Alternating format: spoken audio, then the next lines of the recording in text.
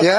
dibahas bagus? Bahas apa aja Pak? Dibahas. Ya tentunya Bapak Presiden banyak uh, menyampaikan hal-hal tentang kebijakan beliau terkait dengan arah pembangunan lima tahun ke depan. Beliau tadi menyampaikan kepada saya uh, apakah kalau ditugaskan membantu beliau siap. Tentunya sebagai prajurit Bayangkara tentunya saya siap untuk mengabdikan diri kepada bangsa Indonesia khususnya di bawah pimpinan Bapak Presiden. Wah itu nanti bukan kewenangan saya. Saya nggak mau dipancing-pancing. Presidennya bahas apa sih Pak di dalam sesuai dengan latar belakang Jangan ya. jenderal ya? Saya nggak mau. Sesuai latar belakang Ya paling tidak ada kaitan sama itu. Oke, tapi jangan dipancing-pancing. Terima kasih. Mohon doa restu.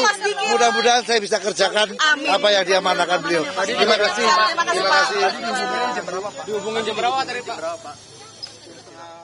Download Tribun X sekarang. Menghadirkan lokal menjadi Indonesia.